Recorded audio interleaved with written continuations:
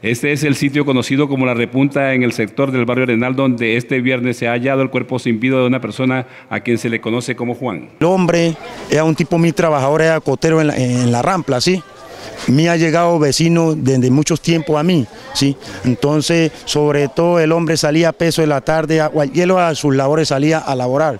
Y ya hoy, ya uno fue atorrado y ya al momento, pues cuando la mujer, la desmujer vino a mirar, a, a, ¿por qué no contestaba el teléfono? Ya entró por detrás y ya lo encontró muerto. La persona habría fallecido hace varios días, de allí los olores fétidos que emanaban de la vivienda donde hallaron el cadáver. Tiene como cuatro días yo iba hablado con él, de tres días para acá no, no supe la vida de él. ¿Estaba mal? Él tenía como dos meses, le iba a dar un dolorcito por aquí, pero ya iba, iba a tratar de operarse más, ¿sí me entiende? ¿Cómo, se- cómo se llamaba él? Pues nosotros le decíamos, y Juan, sí, Juan, Juan. un tipo mía llegaba ahí a los vecindarios. Las autoridades hicieron presencia en el lugar e iniciaron de inmediato las diligencias de rigor.